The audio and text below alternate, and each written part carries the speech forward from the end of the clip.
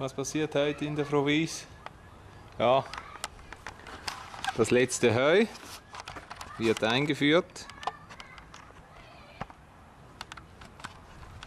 Das letzte Fuder. Und zwar mit unserem Fiat 450 DT mit 45 PS, Allradantrieb. Ein älterer Traktor, aber einwandfrei im Zustand.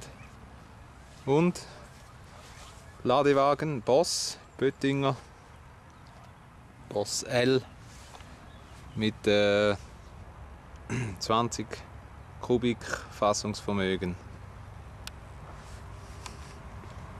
Hier die letzten drei Maden.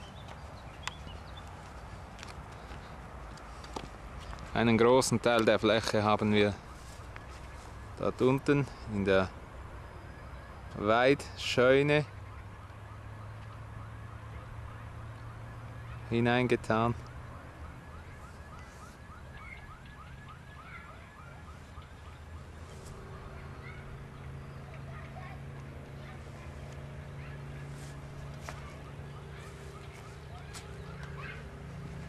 Zum Glück, denn